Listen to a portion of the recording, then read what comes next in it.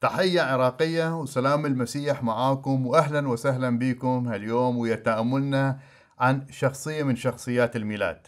اليوم بنعمة الرب راح نتكلم عن شخص المسيح يسوع. نقرأ بعض الآيات اللي موجودة في أناجيل مكتوب فستلد ابنا وتدعو اسمه يسوع لأنه يخلص شعبه من خطاياهم. فقال لها الملاك لا تخافي يا مريم لأنك قد وجدت نعمة عند الله. وها أنت ستحبلين وتلدين ابنا وتسمينه يسوع. إنه ولد لكم اليوم في مدينة داود مخلص هو المسيح الرب. المسيح يسوع هو أساس ومركز الميلاد. هو المخلص المنتظر. هو اللي كتب عنه موسى والشريعة والأنبياء. بدون المسيح ماكو لا إيمان مسيحي ولا ديانة مسيحية ولا أي فكر مسيحي. بدون المسيح ماكو خلاص. المسيح اللي نتكلم عنه هو أعظم شخصية عرفته التاريخ. المسيح هو فريد في ميلاده. ميلاده من العذراء مريم. ميلاده بالإعلانات اللي كانت تجي بوقت الميلاد. هو فريد في معجزاته. من تقرأ الأناجيل بتشوف معجزات المسيح اللي كان بيسويها بكلمة من عنده بلمسة من عنده آه، بأي موضوع كان بيعمل كان بصير معجزة. المسيح هو فريد في تعاليمه. المسيح تجي تتعلم من عنده. هو كان مثقف وكان بيعلم المتعلمين. كان عنده التعليم وتعليمه لحد هذا الوقت محتاجينه في العالم. هو فريد في حكمته. كان عنده كلية الحكمة. ياما مرات اجوا وحاربوه ورادوا أن يوقعوه بغلطة. كان دائما عنده الحكمة في الرد. هو فريد في حبه. حب المسيح كان كبير وبعده عظيم. هو فريد في غفرانه. تصور هو على الصليب وبيطلب الغفران للأشخاص اللي صلبوه. هو فريد في قداسته ونقاوته. ما عمل ولا خطيئة.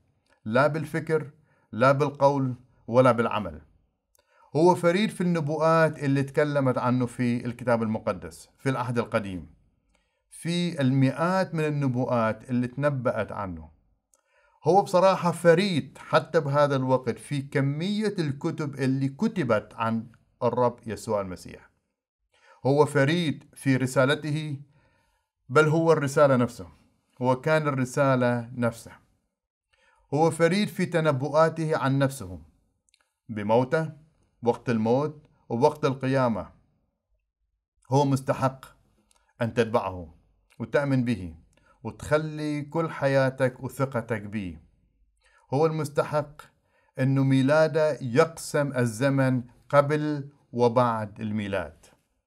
اسمه يسوع لأنه يخلص شعبه من خطاياهم. هو الوحيد اللي بيعطيك السلام والراحة هو الوحيد اللي حبك ومات وقام على مود انت وانت تعيشين هو المستحق انه هاليوم نحتفل به نحتفل بميلاد المسيح. نحتفل بذكرى ميلاد الرب يسوع المسيح. إجا من السماء لكي ما ينزل على هالأرض ويعيش من أجل إنه إحنا يكون عندنا الحياة الأبدية. يموت ويقوم على مود إحنا يكون عندنا علاقة مع الله. وترجع لنا الإنسانيتنا وترجع لنا العلاقة ونرجع نكون أولاد وبنات للرب. هو الوحيد اللي مو بس نتذكره لكن يكون هاليوم مخلص وملك على حياتك. صلي هالصلاة القصيرة وياي صليها بإيمان. يا رب يسوع بقبلك مخلص على حياتي. ادخل إلى قلبي وغيرني وساعدني أنه أحتفل بميلادك. مو بس هاليوم لكن كل الأيام الجاية أنك أنت ولدت في حياتي. أنت ربي ومخلصي. باسم المسيح أصلي. آمين. آمين. الرب يبارككم وكل عام وأنتم بألف ألف خير. عيد ميلاد مجيد والرب يعطيكم نعمة وبركة. بهذا اليوم والأيام الجاية.